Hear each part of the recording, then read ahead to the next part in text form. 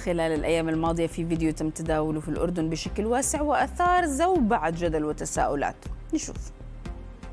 إلى الشعب الأردني وإلى الحكومة الأردنية.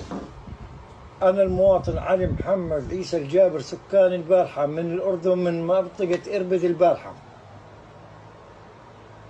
الحمد لله رب العالمين توصلنا لعلاج الكورونا.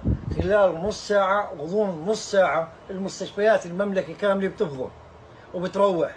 طالب بالعلاج تبعي 2 مليون دينار. غضون 30 دقيقة. كل المستشفيات بتفضى والحدود بترتفع تشتغل إلى الشعب الأردني.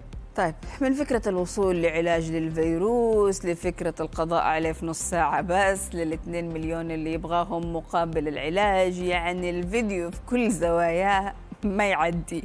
وطبعا أثار الكثير من الجدل. السبت نقلت وسائل إعلام أردنية أنباء عن استدعاء الأجهزة الأمنية للمواطن الظاهر في الفيديو.